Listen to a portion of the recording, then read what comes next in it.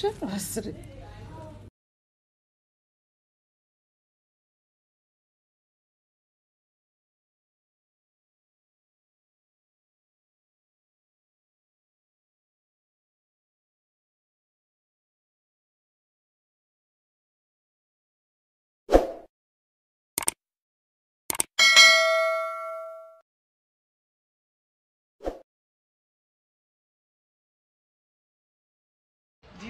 This generation will be fair.